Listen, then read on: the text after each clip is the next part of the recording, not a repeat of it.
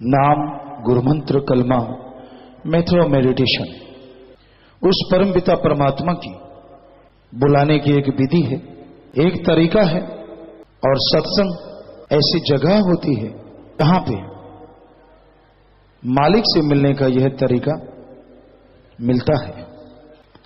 सत्संग में जब जीव चल के आते हैं, पीर फकीर जो बात कहते हैं, उनको सुनते हैं, अमल करते हैं जन्मों जन्मों के पाप कर्म पल में, क्षण में कट जाया करते हैं।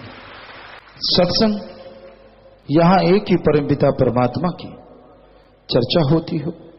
सत्संग मालिक के बारे में रीत क्या है और कुरीत क्या है, यह जानने को यहाँ से मिलता हो।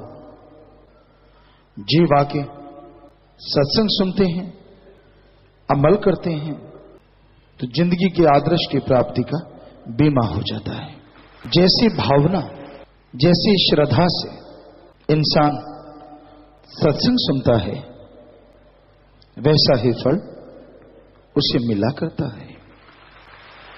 बहुत ज़्यादा श्रद्धा, बहुत ज़्यादा यकीन यानी दृढ़ विश्वास जिनको हुआ करता है, इस मृत्यु लोक में उन्हें सचखंड के नजारे आने लगते हैं।